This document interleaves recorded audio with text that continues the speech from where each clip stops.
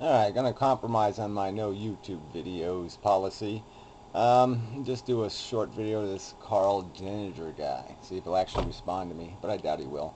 Um, so anyway, Karl, you gave this speech, and, um, you know, it was all that, you know, whatever. You, you, you danced for the people. You know, you, you, you put on a little show. Um, jargon, you know, but let's get to the real truth. Uh, you said in there something about, well, let's not tax the rich. Well, isn't that part of the whole problem here? Um, the rich have all the money now. I mean, you're going to argue something else? Um, and what happens if you tax the rich? What, you're basically taking money from the rich and giving it back to the rich, right? Because they're the ones that hold all the debt. And uh, so I just want to ask you a couple of simple questions. Let's just say, for the sake of argument, that there was no federal debt, that we paid the bills, um, that, uh, you know, there wasn't any personal debt just corporate debt, let's say, um, what, what would be different? Uh, the wealthy still would have put their money somewhere. They still would have dri driven up the prices of basic commodities. They still would have bought the houses. They still would have um, invested in the stock market. And the stock market's a pretty good, like, what is this all about? I mean, just, you know, basically is an upward curve forever. That's supposed to be perpetual. It just can keep going up and up and up and up, and it has to be going, it never has to go back to the neutral again. I think common sense says that it has to because it can't it can't live. It's unsustainable. Okay, any any any permanent upward motion is unsustainable. It has to do the you know actual up and down thing, um, and and uh, you know so it didn't work anyway because all all it is is an indication of a kind of inflation, a kind of yes I'm wealthier, I'm wealthier. So just holding surplus. I mean, isn't it the bottom line that holding surplus has become more profitable than having a job. I mean, productive work has become less valuable. That's the end.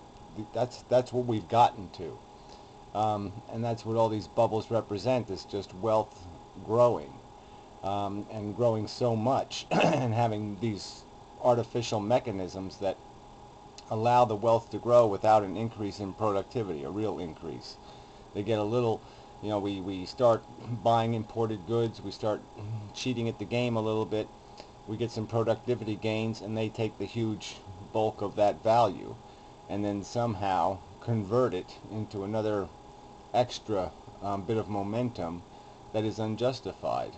Um, but the bottom line is, isn't isn't the real travesty here? Isn't the, it's not these little stupid corporate shenanigans. It's not these banker shenanigans. It's not even the debt problem. Like I said, if they didn't lend the money to people, what would they have done with the money? They would have bought things with it. So they would have created bubbles somewhere. It's just the nature of paying surplus. As soon as you start paying surplus to sit around, uh, called investing, uh, as soon as you do that, you're doomed. Um, unless that you do that on the neutral line up and down anything unless the, the, the deficits have to be equal to the, the, the, the rises or you do something that becomes unsustainable over time and it's got to come down it's got to fall it's got to crash.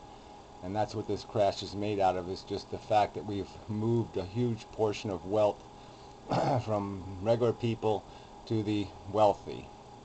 The average person might think they own their home they don't they don't own anything because if they have to pay the debt, even the federal government just owes to the rich, um, they have no assets left. So they are broke right now. Theoretically, technically, they don't have any money. They have a big, huge IOU. That's all they have. They have nothing. Absolutely nothing. And who and the people holding the IOUs are the ones that have everything. And that's what this mess is made out of. Is the fact that we haven't taxed the rich and there's got to be some way to break legacy wealth. And so I'd like to hear your opinion on that. Uh, legacy wealth is the real problem here. Ownership without productive work. That's the evil. Um, so anyway, a quick video for me anyway. Um, appreciate your feedback. Uh, maybe we'd have like an argument or something.